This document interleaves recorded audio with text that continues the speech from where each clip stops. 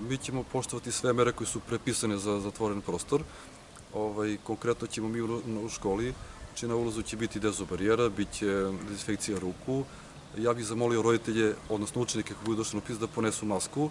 Ovaj, u slučaju da neko nema, mi tu imamo neku rezervnu količinu. U prostorije ćemo videti da bude maksimalno po jedan učenik, odnosno samo po jedan učenik kod obe konkursne komisije. Imamo dovoljno vremena, znači to su dva dana od 8 do 15 časova, 110 učenika otprilike, tako da će biti dovoljno vremena i da se ispoštuju sve te mere.